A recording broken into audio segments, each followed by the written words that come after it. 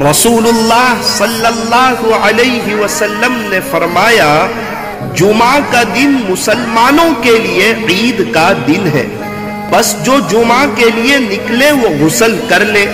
اگر اپنے پاس خوشبو ہو تو لگا لے اور مسواک کو ہر حال میں لازم پکڑو۔ ابن ماجہ شریف